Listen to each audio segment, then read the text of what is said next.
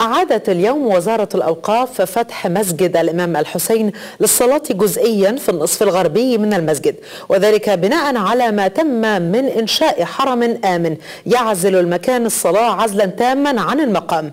وللمزيد ينضم إلينا مباشرة من مسجد الإمام الحسين مراسل أخبار مصر وليد هيكل. آه وليد بعد التحية آه يعني آه وضح لنا آه تفاصيل أكثر عن إعادة فتح مسجد الحسين.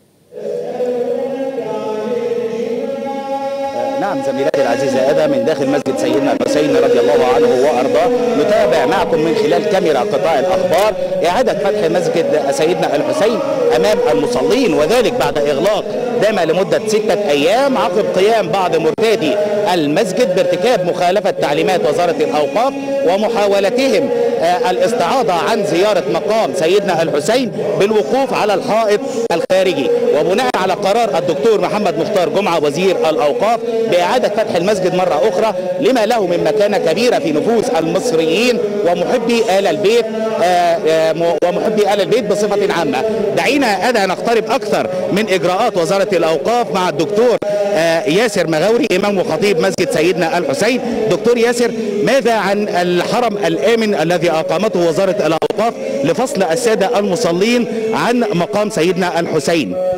الحرم الآمن إجراء من الإجراءات الاحترازية التي أخذتها وزارة الأوقاف لما رأت سلوكا من بعض المصلين فهذا السلوك من الممكن أن يكون ناقلا للعدوى.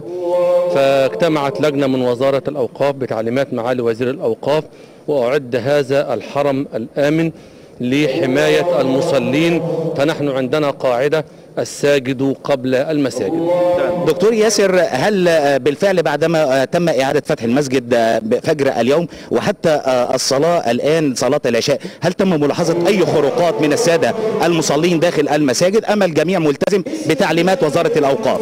منذ فتح المسجد من فجر الأربعاء الناس ملتزمون بتعليمات غير أن بعض الناس قد يحاول خرق تلك التعليمات فنتصدى له أنا وزملائي الأئمة وجميع العاملين في المسجد بخطة وضعت وضعناها وأشرف عليها فضيلة الشيخ خالد خضر.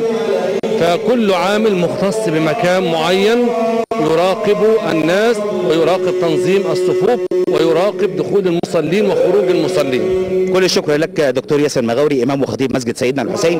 اذا زميلاتي العزيزة ادا تهيب وزارة الأوقاف بالساده المصلين الالتزام بالضوابط والتعليمات التي أقرتها سلفا حين تم فتح المساجد وذلك حتى لا يتم إغلاق أي مسجد على مستوى الجمهورية وإنه يجب الالتزام بالإجراءات التي اتخذتها الدولة المصرية لفتح كافة المساجد على مستوى الجمهورية.